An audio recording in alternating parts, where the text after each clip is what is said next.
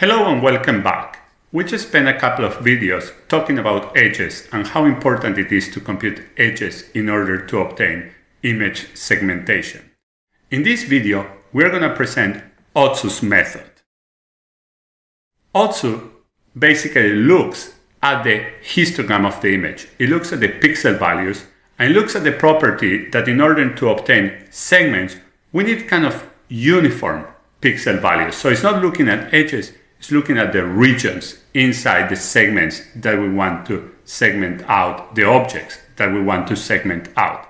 Let's look at the basic underlying idea behind Otsu, what motivates this algorithm, and then we're going to explain how it works. If we look at this image of a fingerprint, let, we plot the histogram, and the histogram is what's called bimodal. A lot of pixels values are here, which is basically a lot of the fingerprint and a lot of pixel values are here, which is basically the background. Very clear two modes in the histogram. So this is a multimodal histogram. And the basic idea is that if we threshold here, we can obtain a very simple segmentation. We just separate the fingerprint marks from the background by a simple threshold because we have this bimodal distribution. Otsu, is going to help us to find basically the threshold in an automatic fashion. Now, of course, not all the time images are as nicely distributed as this one. Let us look at this very simple example. Here we have a binary image. So we have still bimodal distribution, but just two delta functions. If we add a little bit of noise, then we're going to still get, so this is Gaussian noise, we are still going to get two modalities. And Otsu is going to be able to, without any problem, Otsu's method is going to be able to segment this out with no problem. It's going to find the threshold. Now, if we add much more noise, the variance is about five times going from here to here. Now the histogram is much more distributed. We don't have this multimodality. And Otsu is not gonna Otsu's method is gonna not gonna be able to find a nice threshold. I haven't explained to you the method yet, but if we apply the method to this image, because of this distribution, this is what we're gonna get. We're not gonna be able to segment it out. But of course, at this time, fifth week in image processing, we're not really scared of noise. We see a noise image, we can denoise it. If we denoise, we might be able to get back, in this case, we get back to this bimodal distribution, and then Otsu's automatic threshold algorithm is going to be able to segment it back. So it's a very powerful technique, as we're going to see. This is a simple image to illustrate the idea.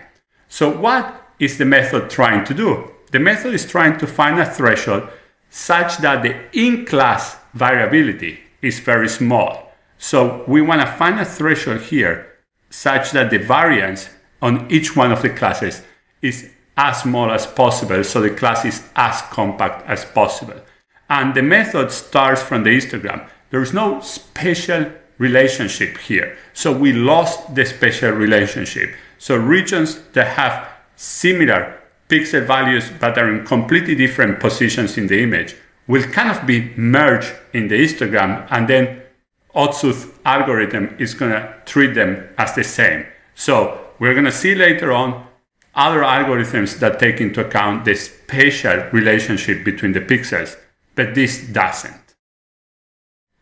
The basic idea is very simple. We need to minimize the weighted within class variance. We assume two classes and we need to minimize the weighted within class variance. So what's that class variance is defined here. T is going to be the threshold. That's the threshold we are looking for. It's going to be, if we have a regular image, it's going to be some value between 0 and 255. And this is the value we're trying to minimize for. And let me define each one of these variables here, although they're pretty clear. So this is basically the probability of each one of the classes. P is what we get from the histogram. We start from the histogram, we have a probability for every pixel value. So we compute the histogram and we normalize it. So it's a probability as we have taught a few weeks before. And then we have, we go from 1 to t, that's where we put the threshold, or from t plus 1 to the end of the, the largest pixel value, 255. And then we get the probability for class 1, the probability for class 2. Then we simply get the means for class 1 and for class 2. And then we also get the variance for class 1 and the variance for class 2. And in such a way, we obtain the weighted within class variance, which is here. And that's what we want to minimize. Once again, this measurement basically gives us the compactness of the classes. If we put the threshold in the wrong place, there's going to be large variance for one of the classes, and we don't want that. So that's what we need to optimize. That's what Otsu's algorithm does. Now, how to implement this? One way is extremely trivial. You just try it. You go for t equals zero, you compute this, not hard, and then you compute this value. You do the same for one, two, everything up to 255. You remember which one was the, the lowest, you keep that threshold and you're done. That by itself will already be very fast, very efficient, very fast. If you do some algebra, you can actually find out very simple algebra. Just plug in the formulas from the previous slide here, and you can find out that this, which is the total variance of the image, is basically the sum of the within class and the between class variance. Now, this is of course constant. It doesn't depend on the threshold.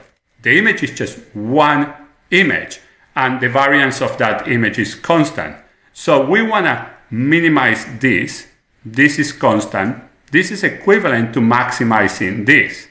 Now the probabilities and the means basically are very, very easy to update as we move the threshold in a very simple recursive formula, which is, you know, add one more, add one more when we're moving the threshold.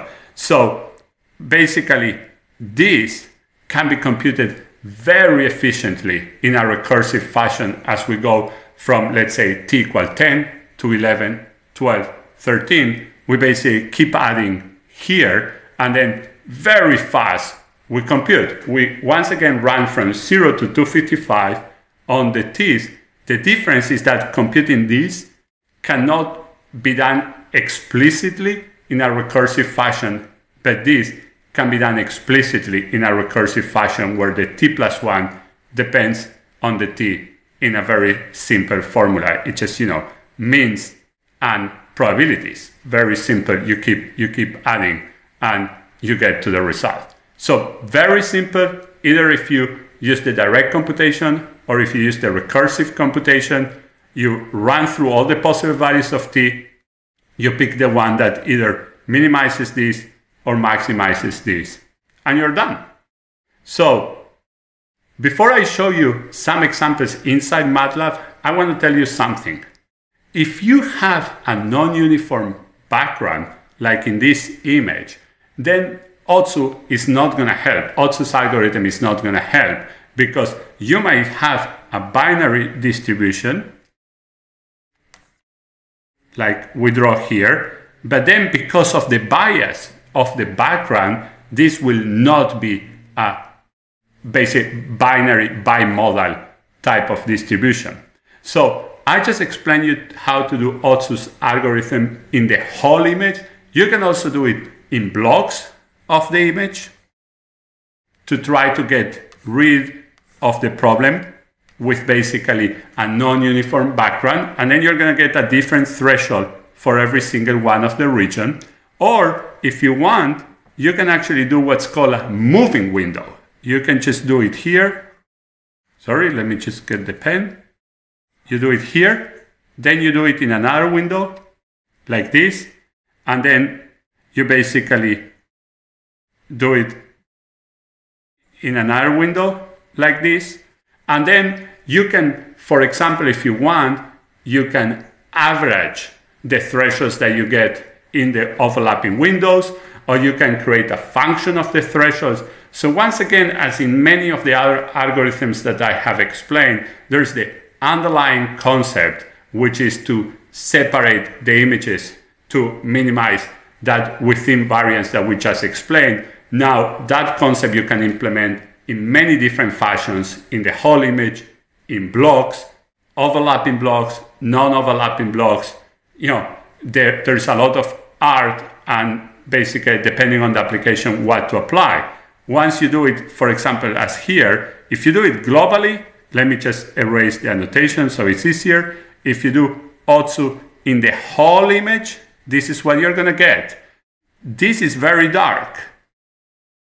So it got confused with the letters in the distribution and in the optimization, and then it basically the threshold put it together with the letters, and the writing has it's basically gone. Now, if you do it with a moving window, you get this beautiful result back. Once again, extremely, extremely simple. All what we are doing is to segment out the letters here, we are computing thresholds. We move a window, we just move regions, we move it, and we are computing thresholds with the formulas that I just explained to you. Now, let's see an application of this running inside MATLAB. In order to illustrate Otsu's method inside MATLAB, the first thing we have to do always is to load the image. So here we have, we are loading the image. This is this operation. The next operation is what actually does the computation of the optimal threshold, the Otsu's algorithm that we just described. That's this operation in MATLAB that it gives us the level, gives us the value of the optimal threshold, and then we are basically gonna threshold the image following that value. So let's see the results of all these operations. We have them here, and let me just move the window so we can observe them better. This is the image. This is the histogram. Now you're an expert in Otsu's method. So the moment you see this histogram, you say, wow, that's great. I can do a pretty decent job if I just compute that optimal threshold that should be around here. And that's a result of thresholding the image with that optimal threshold. It looks pretty nice. Remember, no spatial information. So for example, you might be able to see a few pixels here that were included as part of the background. Of course, without any type of smoothing, you will get rid and will get a very, very nice white object inside here. Here things are a bit different and that's because, as you see, this part of the coin is relatively dark, almost as dark as the background, or basically as dark as the background, and that's why it was included as part of the background. Situation might have been different if we do Otsu's method in a local window or some other variant of Otsu's method. But the idea is very clear for most of the image, which, uh, which with a simple threshold, we get a very nice segmentation. And that threshold, we don't need to specify by hand Otsu's method automatically computes for us. So let's go back to the slides and we finish this video. Thank you. In this video, we have seen another classical standard, very simple and very powerful image segmentation algorithm. Unfortunately, not all the images are easy enough for Otsu to segment or for the Hough transform to segment, and we're going to need more advanced techniques to be able to handle them. And that's going to be the topic of the future videos in this week. I'm looking forward to seeing you in them. I'm having a lot of fun and I hope that you're having too. Thank you.